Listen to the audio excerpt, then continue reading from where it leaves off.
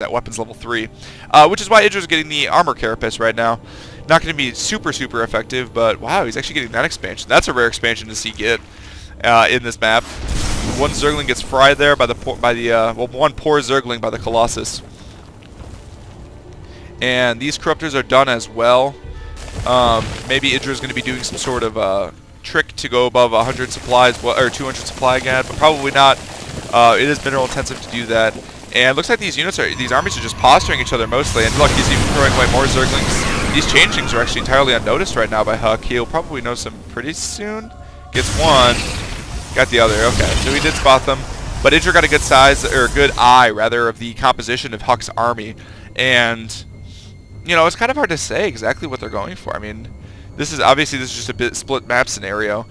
Now, what, I mean, what's going to happen, most likely, is that there's going to be a big engagement and Huk's going to come out ahead because Protoss armies tend to come ahead, and then Idra is going to be able to remax faster. He should have tons and tons of larvae sitting around in these hatcheries. Look at that, 11 larvae, 2 larvae, 15 larvae, and looks like an engagement. Nice hallucinations for the Void Rays right there.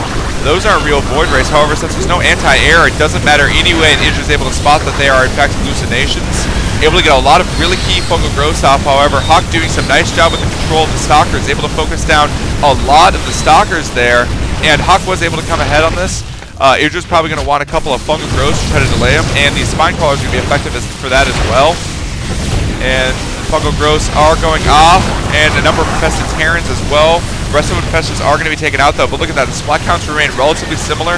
Idra's not going to want to send his army in piecemeal right now, though. He needs to... He's actually only building Zerglings right now, and he's letting them all go in and die. He needs to be...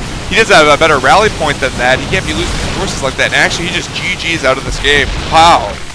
So... Idra, I mean, I... I guess that... I mean, the it didn't look like super devastating. It didn't look super devastating, that initial conflict. But look at how many resources Idra has stockpiled. Like, he has tons and tons of resources that he's not utilizing. Um, and, you know, it wasn't because he didn't have enough larvae. He just wasn't able to build Remax fast enough. So, you know, it's hard to say exactly where he went wrong because this was such, like, a big resource game, and it all comes down to one fight, which, you know, kind of seems... You know, it almost seems silly, but a lot of games in StarCraft are like that. And look at those upgrades, actually, for Huk. Really nice upgrades. It's pretty rare that I see someone get the shields upgrades.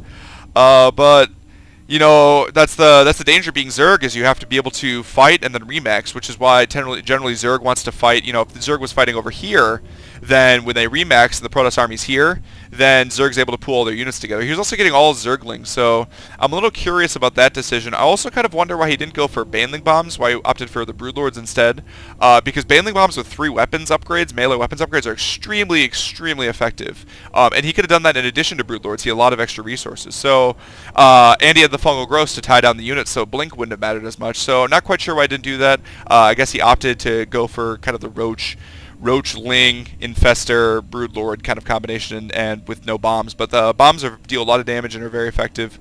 Uh, but this was a really good game, and Huk, you know, just out. I mean, he outplayed Idra, fair and uh, plain and simple, and he did a really great job and was just really impressive overall. Uh, Idra was also very impressive. I don't want to disparage him or anything. I think he did a good job as well, and uh, uh, they'll definitely be able to help each other learn as teammates. But looks like Idra did in fact get eliminated from the North American uh, from the North American Invitational.